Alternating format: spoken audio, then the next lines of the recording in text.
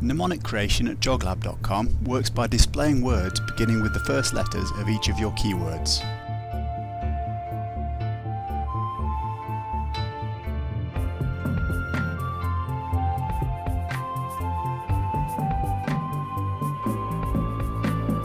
It'd be terrific to hear any mnemonic you produce. A million thanks for watching. You're sensational. Have a divine day.